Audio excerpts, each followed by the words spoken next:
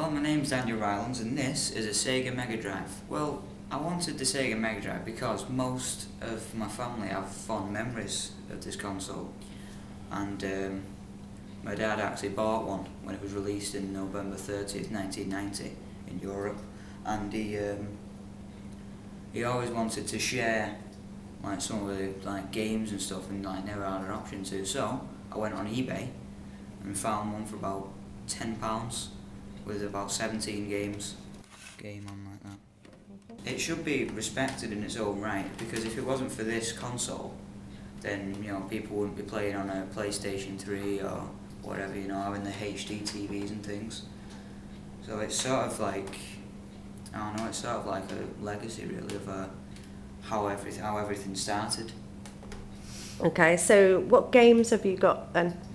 I've got uh, quite a few. Uh, this one I've got. I brought one with me actually. Great. It's called uh, ToeJam and Earl. It's one of the uh, first releases for the console. It's just simple cartridge-based uh, unit. Just place it in like that.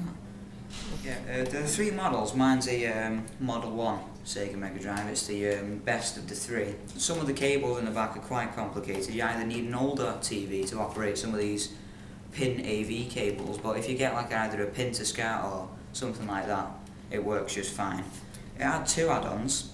One was the 32X, I haven't got that, but it goes on the top and instead of 16-bit it then runs in 32-bit and gets higher quality. And the other one was the uh, Mega CD, which sort of plugs into this screw area in the bottom and you sit the console on top and at the side there is a CD port so you can run disc games. And, uh, it got discontinued in about 1997 along with its add-ons, which was kind of a sad moment really because it was a force a forced ending for the console because the company actually wanted to carry on with new uh, subjects but because of that fact it's now running for quite cheap even though it's pretty one of the greatest consoles ever created.